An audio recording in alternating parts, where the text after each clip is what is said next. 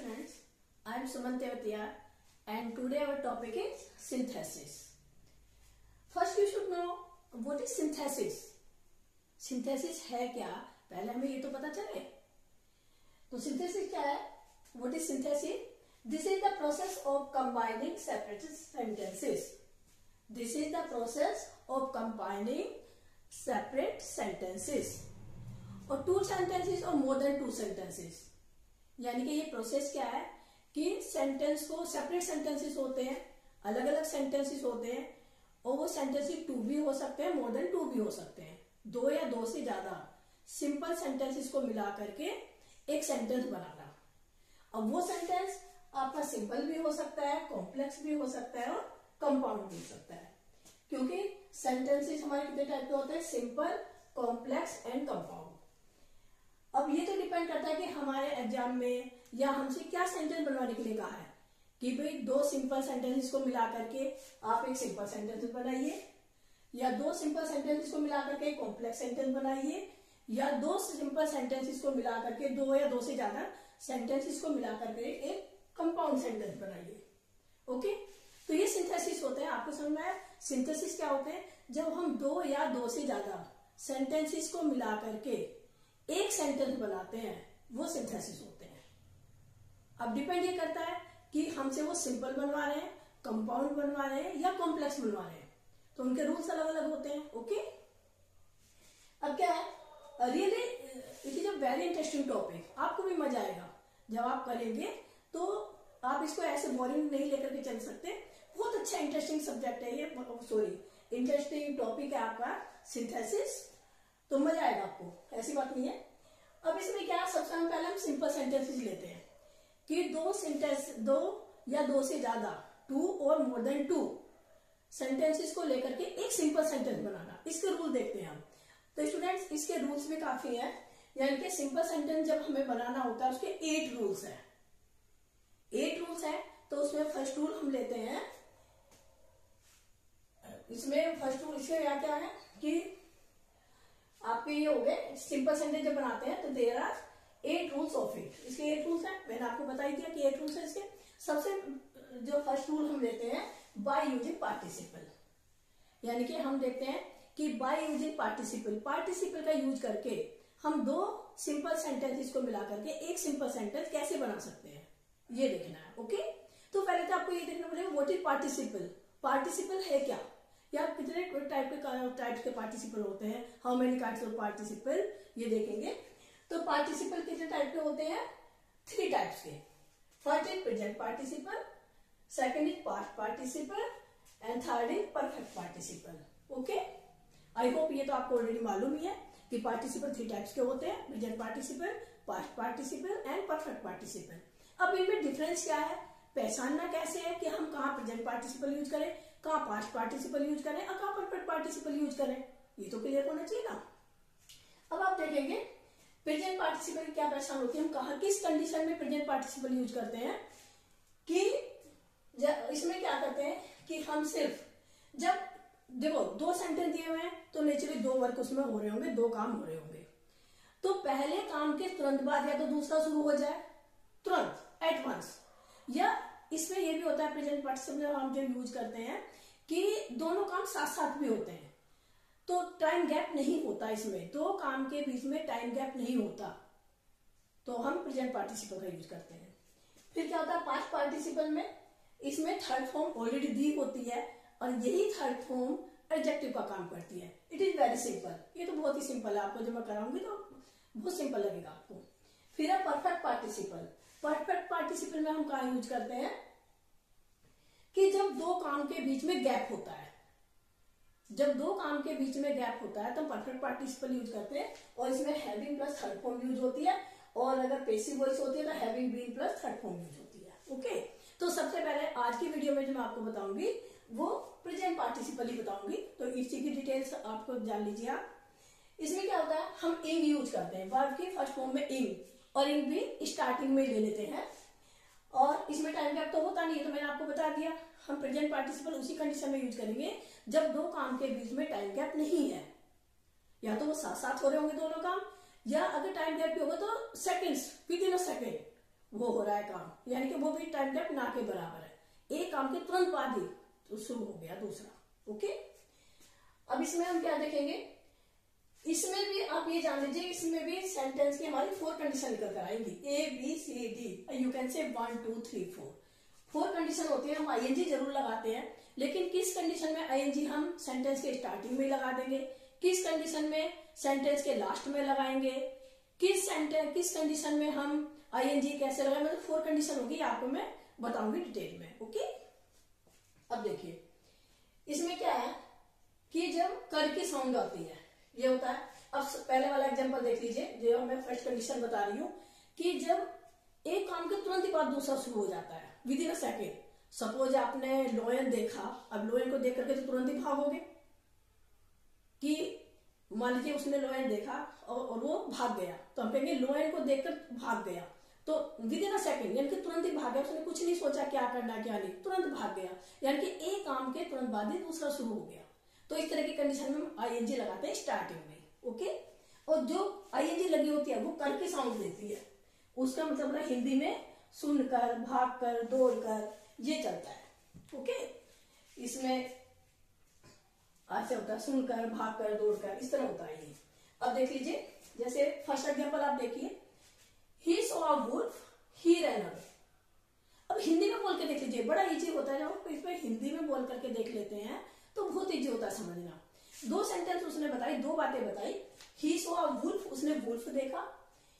ही run away और वो भाग गया। तो हम क्या कहेंगे? वुल्फ को देखकर वो भाग गया। अब क्या है देख कर अब जब देख कर सुन कर इस तरह की साउंड आती है। अब हिंदी में कर होता आता है। तो हम आई स्टार्टिंग में लगा लेते हैं। अब देखा, हमारी वर्ब है ये। सेकंड फॉर्म है ये। सेकंड फॉर्म में मैं आईएनजी लगाना है। तो आपको मालूम है आईएनजी तो फ़र्स्ट फॉर्म में ही लगती है। तो हमने लगाया सीन सी का भूल हाँ इतना ज़रूर ध्यान आया ध्यान रखना आपको कि जहाँ फुल स्टॉप आता है, वहाँ कोमा ज़रूर लगानी है। यहाँ पे फुल स्टॉप आया था भूल के बाद तो हमने यहाँ पे कोमा लगाई। सी का भूल ही रैन अवे यानी कि वुल को देखकर वो भाग भागे तो आपने देखा कि दोनों काम के बीच में कोई टाइम गैप नहीं है, तुरंत ही दूसरा शुरू हो गया। एक कंडीशन तो ये है कि जब एक काम के तुरंत बाद दूसरा शुरू हो गया तो आप आईएनजी स्टार्टिंग में लगाएँगे और वो साउंड देगा करके, हिंदी में उसका मीनिंग निकलेगा कर, सुनकर, भागकर, दौड़कर, ऐसे। Okay it is clear I hope अब नेक्स्ट कंडीशन देखिए, दूसरी कंडीशन क्या आती है? बी मैंने बताया तो दूसरी कंडीशन क्या आती है? जैसे ये ही saw little girl she was a dancing I saw little girl I saw little girl मैंने एक छोटी लड़की देखी. शी वॉज़ डांसिंग और वो डांस कर रही थी। अब इसमें देखो क्या डिफरेंस आएगा। इसमें कर की साउंड थी? इसमें क्या हुआ कि मैंने छोटी लड़की देखी, वो डांस कर रही थी। अब मुझे ये जब दोनों बातें एक ही सेंटेंस में हिंदी में कहनी पड़े तो क्या करूँगी कि मैंने डांस करती हुई लड़की देखी, ओके? तो इसमें क्या पहचान होगी कि हिंदी में हम तो ती हुई, ता हुआ, ते हुए ये आते हैं। जैसे ती हुई, ते ते हुए ता हुआ ये आते हैं। अब इसमें क्या कि मैंने एक डांस करती हुई लड़की देखी। तो क्या बना फिर हमारा? अब इसमें क्या करते हैं? ती हुई ते हुए तो जो आई आईएनजी होती है, जो इंग होती है, हमारी सबसे बाद में जाती है। जैसे हमने स्टार्टिंग में यहाँ पर आईएनजी ले लिया था। लेकिन इस बार में क्या लेंगे? जब ता हुई, ती हुई, ते हुए आता है आईएनजी हम सबसे लास्ट में ले जाते हैं। क्लियर अब हमने क्या किया? हमने क्या सेंटेंस बनाया इसका? I saw a little girl I saw a little girl dancing यानी कि डांसिंग हमने आई सबसे लास्ट में लिया ये। I saw a little girl dancing यानी कि मैंने डांस करती हुई लड़की देखी। लेकिन हाँ इसमें भी ध्यान देना है कि आईएनजी लास्ट में तभी आएगी जब वो लिविंग थिंग हो अब यहाँ पे जो गर्ल है, ये लिविंग थिंग है। ये गर्ल लिविंग थिंग है, इसलिए मैंने आईएनजी सबसे लास्ट में लिया।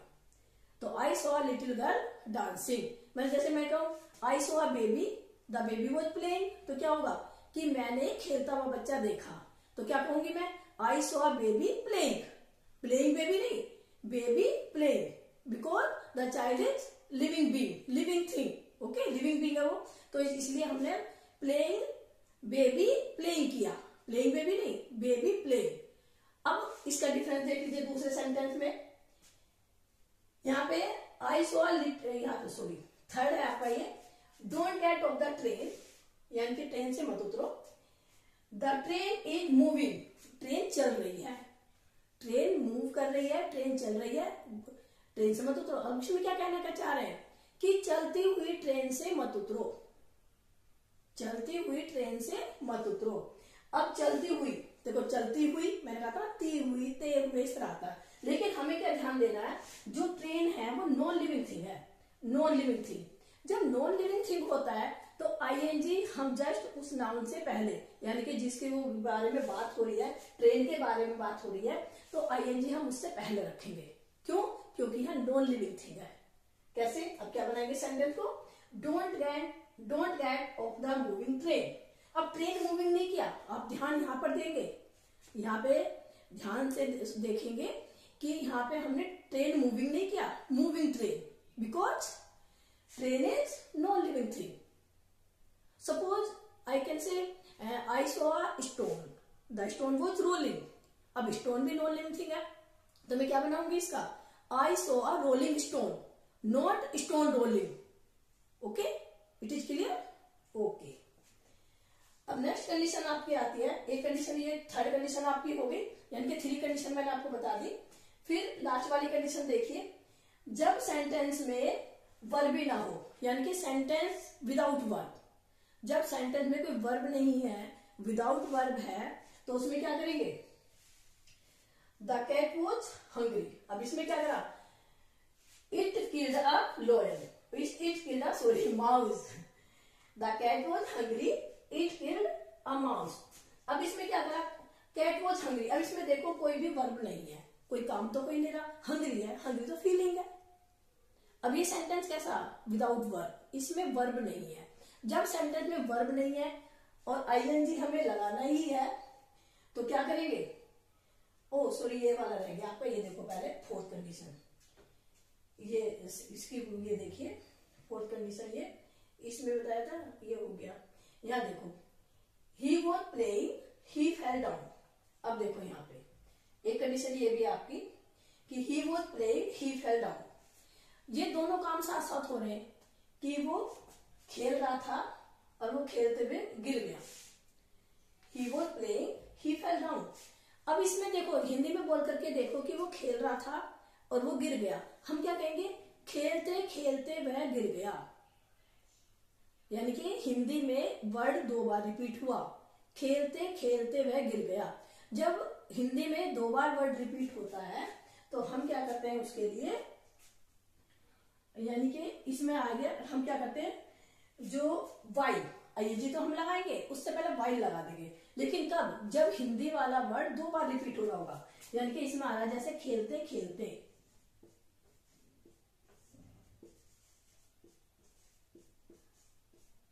खेलते खेलते। अब ये हो गया। He was play he fell down तो मैंने क्या किया? वाइल लगाया। आईएनजी तो हमें लगानी है शुरू में, लेकिन उससे पहले हम वाइल लगाते हैं। While playing he fell down while playing he fell down यानी कि खेलते खेलते वो गिर गया। मैं कहूँ कि she was reading she slept तो क्या हुआ? पढ़ते पढ़ते वह सो गई। तो while reading she slept okay इस तरह। तो ये कंडीशन होगी हमारी। अब यहाँ पर आते हैं जो मैं पहले ही ले, ले दी थी लाइए अब देखिए इसमें।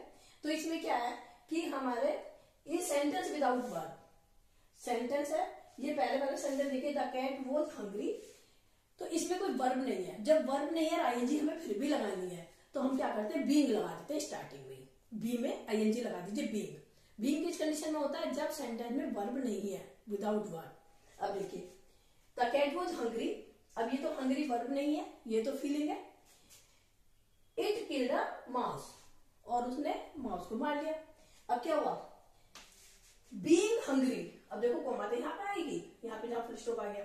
Being hungry the cat kill a mouse being hungry the cat killed a mouse तो इस तरह से ये हो गया। अब इसका एक एग्ज़ाम्पल और ले सकते हैं। She was she was thirsty she drank water suppose आपने सेंटर दो सेंटर आपको मिले। She was thirsty she drank water तो क्या हो गया? Being thirsty she drank water okay तो स्टूडेंट देखिए, इसमें फोर कंडीशन आपके निकल कर आए। पहले में क्या था? जब एक काम के तुरंत बाद दूसरा शुरू हो रहा है, यानी कि लगभग साथ साथ ही हो रहा है टाइम गैप पहले तो आपने आईएनजी शुरू में लगाया, जिसमें कर की साउंड आई। दूसरी कंडीशन है आपकी कि ती हुई, ता हुआ, ते हुए, जब हिंदी में मीनिंग आता है तो हम क्या करते हैं?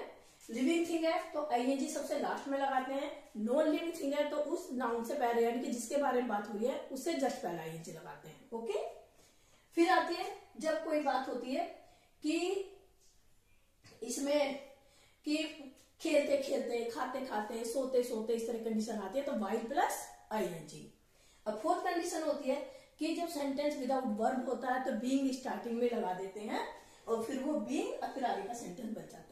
Okay students I hope it is clear to you thank you very much